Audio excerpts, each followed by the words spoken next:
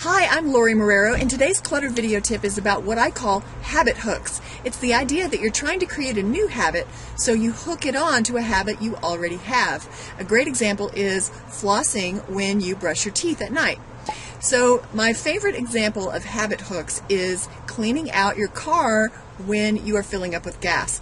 Right now, I've got the gas pumping, and I have my trash that I've cleaned out of my car, and there's already a trash can right there.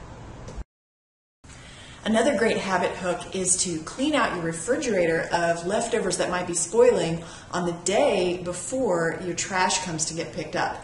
That way you won't have smelly things in the trash bin in the garage for a week until they come back.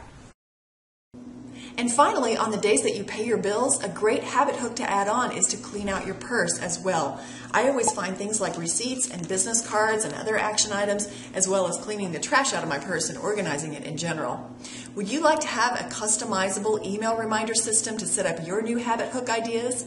We provide that in our member area along with the expert help from our organizing team. You can find out more at clutterdiet.com slash learn more.